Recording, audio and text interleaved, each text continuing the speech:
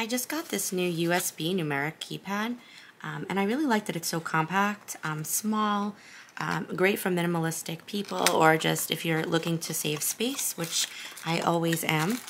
Um, it's really helpful. I'm on my computer a lot because I'm working from home right now, so this will really come in handy. Um, it's compatible with both the PC and the laptop, um, as it says here. plug and play device with no drivers required and um, it has a soft quiet touch. I'll test that out.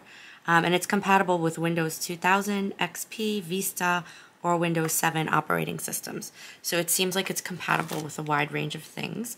Um, here's the USB plug right here. Um, I like that it's a pretty long plug, as you can see here. Um, and then we just take it out of the packaging. And you can see here, it has actually pretty large um, keys, which I like a lot. It's easy to see, easy to read, um, and they press down really easily. I'm pressing them right now. It has like a soft ease to the touch. Um, so it has the number lock, it has the backspace, and the enter, of course, delete, um, and the full numeric keypad that you would need um, for all number related things that you'd be doing. Um, this is great when I'm doing grading as a teacher on my computer. I'm sure this will help a lot of people who are working from home. it's very lightweight.